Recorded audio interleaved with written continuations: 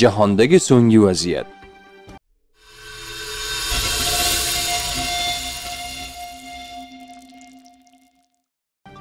Eron Isroil tomon 100 dan ortiq raketalarni uchirdi.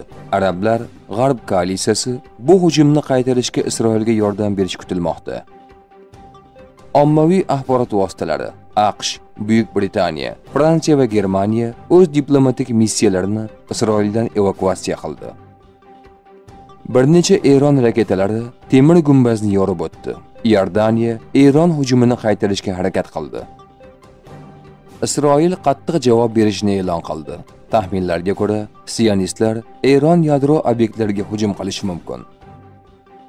Axios nashri Eron 400 ta raketa uchirganini e'lon qildi.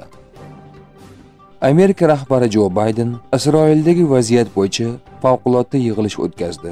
Shubhasiz, bunday majlislar o'sha vaqtda London, Berlin, Parij, Bryusselda ham o'tkazilgan. Islom inqilobi qo'riqchilari korpusi bayonotiga ko'ra, Isroilga qarshi hujum Haniya, Nasrulloh va Nilfuroshonlarning o'limi uchun qasos olishga qaratilgan edi. Agar Isroil javob qaytarsa, bundan kuchliroq zarba berishga tayyormiz deyiladi Eron maxsus xizmati bayonotida. Birlashgan Millatlar Tashkiloti bosh kotibi Antonio guterish Livandagi vaziyat keskinlashayotgandan juda ham xavotirda va zudlik bilan o't ochishni to'xtatishga chaqirmoqda, deya ma'lum qildi uning idorasi. Isroil armiyasi Bayrutga navbatdagi maqsadli zarbalar berilishini e'lon qildi. Fransiya rahbari Emmanuel Macron Livandagi vaziyat keskinlashgani sababli seshanba kuni kechqurun Mudofaa hamda Milliy xavfsizlik kengashi yig'ilishini o'tkazadi, deya ma'lum qildi Fransiya hukumat rasmiy vakili. Bayden Kiyevga AQShdagi saylovlardan keyin Rossiya ichiga chuqur zarba berish uchun g'arb qurollaridan foydalanishga ruxsat berishi mumkin. Ommaviy axborot vositalari penalti Times Ukraina g'arb bilan Rossiyaga hududlar bo'yicha imtiyozlar berish masalasida ochiqroq gaplasha boshladi. Nashrning yozishicha, Ukraina rasmiylari hatto Rossiya Ukraina hududida qolgan taqdirda ham o't otishni to'xtatish imkoniyatini faolroq muhokama qilmoqda. Ta'kidlanishicha, mamlakat tashqi ishlar vaziri sibigi AQShdagi shaxsiy uchrashuvlar chog'ida potensial murosaga erishish yo'llari haqida alohida to'xtalgan. Xabarda shuningdek, Ukrainani qiyin kunlar kutayotgani, Zelenskiy AQShda o'z maqsadlariga erisha olmagani ta'kidlangan. Trampning AQSh saylovlaridagi ehtimoliy g'alabasi Ukrainani harbiy yordamning to'xtatilishi tahdidi ostida noqulay tinchlik kelishuviga ko'nishga majbur qilishi mumkinligidan xavotirlar bor. Zelenskiy Vashingtonda asosiy masala bo'yicha omadga erisha olmadi va g'arb hamkorlari bosimi ortib borayotgani uni muzokaraga undamoqda. Ayrim yevropalik diplomatlar mojaroning potensial yechimi haqidagi munozaralarda o'zgarishlarni payqamoqda, deb yozmoqda Financial Times nashri.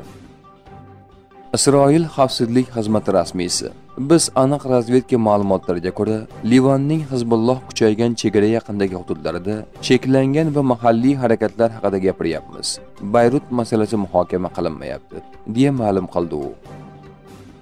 NATOning yangi bosh kotibi Mark Rutte o'z lavozimidagi ilk matbuot anjumanini boshladi. U shunday dedi: Ukrainani qo'llab-quvvatlash bu to'g'ri qaror. Shuningdek, o'z xavfsizligimizga sarmoyadir, deya fikr bildirdi u o'z nutqida. Rutte NATOning Rossiya hududidagi nishonlarga qurol bilan zarba berilishini qo'llab-quvvatlash to'g'riligini aytdi. Ammo bunday qarorni har bir ittifoqchi davlat o'zi qabul qilishini ta'kidladi. Isroil mudofaa kuchlari Livan janubidagi bir qancha shahar va qishloqlar aholisini zudlik bilan evakuatsiya qilishga va uylarini tark etishga chaqirmoqda. Germaniya kansleri Olaf Scholz yaqin haftalarda Putin bilan suhbat qurishni rejalashtirmoqda, deya xabar bermoqda Die Zeit gazetasi hukumatdagi manbalarga tayanib. NATOning sobiq rahbari Stoltenberg Alyans davlatlari boshqa davlatlarning muqobil takliflarini emas, balki Ukrainaning tinchlik formulasini qo'llab-quvvatlash kerak. Bu haqida u politiko nashriga bergan intervyusida aytib o'tdi. Ukrainaning tinchlik tashabbusi barqaror tinchlikka olib kelishi mumkin bo'lgan jarayonni ta'minlaydigan tashabbusdir va albatta qanday shartlar maqbulligini aynan ukrainaliklar hal qilishlari kerak. Ular keng ko'lamli bosqinning qurboni bo'ldi, deya fikr bildirdi NATO bosh kotibi. Eslatib o'tamiz. O'tgan hafta Tinchlik do'stlari sammiti bo'lib o'tdi. Unda 10 ta davlat ishtirok etdi.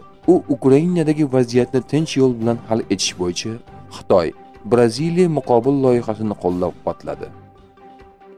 Germaniya tashqi ishlar vaziri Annalena Berbok Ukrainani uzoq masofaga uchuvchi Taurus raketasi bilan ta'minlash tarafdori ekanini aytdi. Germaniya kansleri Olaf Scholz Kiyevga bunday qurollar berilishini rad etgandi. Biz demokratik davlatmiz. Koalitsiyamizda birlik yo'q. Shuning uchun biz Taurus raketasini yubormayapmiz, dedi Germaniya tashqi ishlar vazirligi rahbari. Erdo'g'an Falastin va Livandan keyin Isroil ko'z tikadigan davlat Turkiya bo'ladi. Netanyahu anadolini o'z ichiga olgan tush haqida xayol surmoqda. Garchi ba'zi odamlar buni tan olishdan qat'iy bosh tortsalar ham, men Isroilni aniq ogohlantiramanki, Livanga quruqlikdan bostirib kirishning oqibatlari uning avvalgi bosqinlari kabi bo'lmaydi. Rossiya qo'shinlari Donbass janubidagi muhim ahamiyatga ega Ugledarni egalladi. 2,5 yildan oshiq vaqt davomida shaharni mudofaa qilgan garnizon chekinishga ulgurgan. Shaharning turli nuqtalaridagi ko'p qavatli binolarda Rossiya bayroqlari ko'tarilgan.